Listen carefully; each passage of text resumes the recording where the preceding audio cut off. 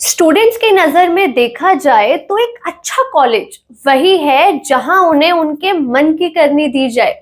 अब ये ठीक भी है और गलत भी, क्योंकि स्टूडेंट्स का देखा जाए तो पहला ऑब्जेक्टिव कॉलेज में एडमिशन लेने का होता है प्लेसमेंट्स ना कि ट्वेल्थ की तरह सिर्फ़ अपनी स्टडीज़ पर फोकस करना थ्योरेटिकल नॉलेज लेना। इससे नुकसान भी होता है उन स्टूडेंट्स के लिए जो सिर्फ़ करियर को इसलिए बनाना चाहते हैं ताकि उन्हें एक अच्छे पैकेज मिल सके।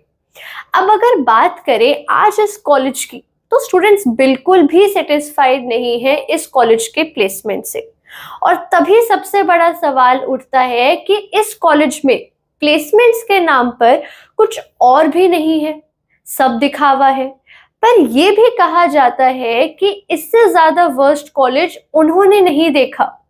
रिव्यूज़ की माने तो अब कहीं ना कहीं ऐसा भी लगता है कि जो बात कॉलेज के बारे में कही जा रही है, वो कहीं सही तो नहीं। ये बात कुछ और भी है। क्योंकि आईआईएलएम लोधी रोड के फैक्ट्स एंड फिगर्स देखें तो काफ़ी सराहनीय है। तो फिर क्यों ऐसे सवाल उठते हैं इस कॉलेज पर? तो चलिए ऐसे ही सवालों को मद्देनजर रखकर आज करते हैं आईआईएलएम लोधी रोड कैंपस का रियलिटी चेक हेलो गाइस मैं सिमरन कॉलेजेस 18 की तरफ़ से आई हूँ आईआईएलएम कैंपस लोधी रोड का रिव्यू लेकर। आज हम जानेंगे कॉलेज के backgrounds approvals location courses fees infra campus life और प्लेसमेंट्स के बारे में।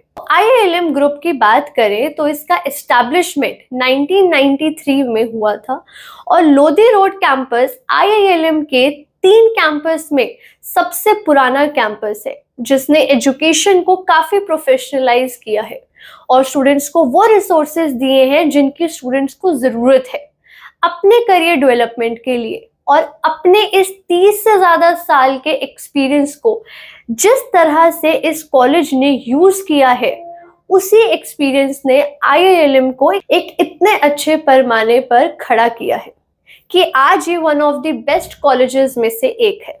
अप्रूवल्स की बात करें तो IILM campus Lodhi road A और P R M E that is principle for responsible management education से अप्रूव्ड है और national board of accreditation A I U से भी एक्रेडिटेड है।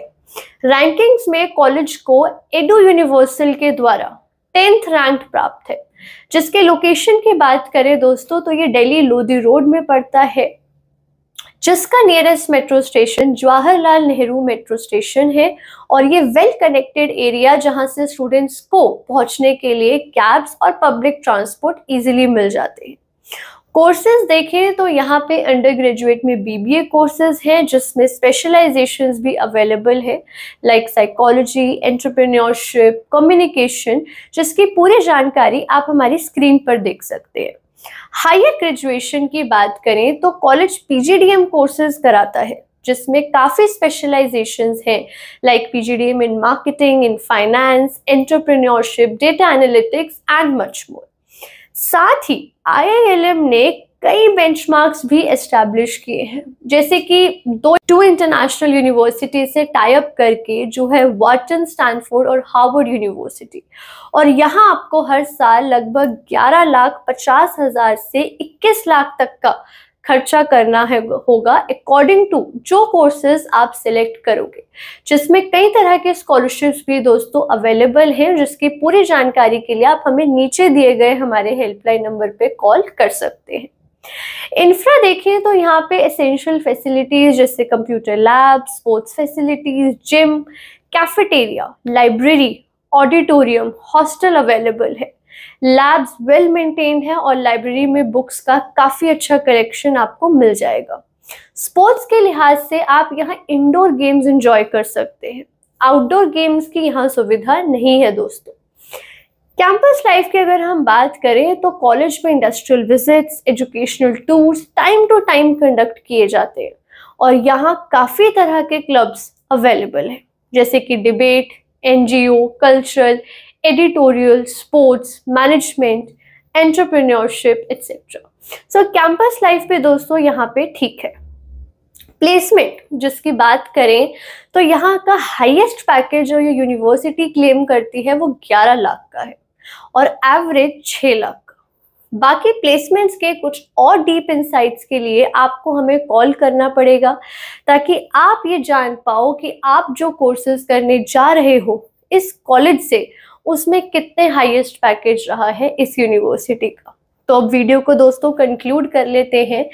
आईएलएम लोधी रोड आपके लिए एक अच्छा विकल्प साबित हो सकता है, पर फिर भी कुछ डीप एनालिसिस करना ज़रूरी है, जिसके लिए आप हमें कॉल कर सकते हैं, क्योंकि आपके लिए भी ये जानना बहुत ज़रूरी है कि क्या आपकी स्ट्रेंथ और इंटरेस्ट इस कॉलेज के इन्वायरमेंट से मैच होगी भी या नहीं। तो तब तक के लिए मैं सिमरन आपसे विदा लेती हूँ और मिलती हूँ हमारी नेक्स्ट वीडियो के साथ, और अब आपको पता है ना क्या करना है। कॉल करो हमें जल्दी ताकि डिसीज़न वाइजली ले सके। और हाँ चैनल को सब्सक्राइब और इस वीडियो को लाइक शेयर करना बिल्कुल भी ना भूलें। Thank you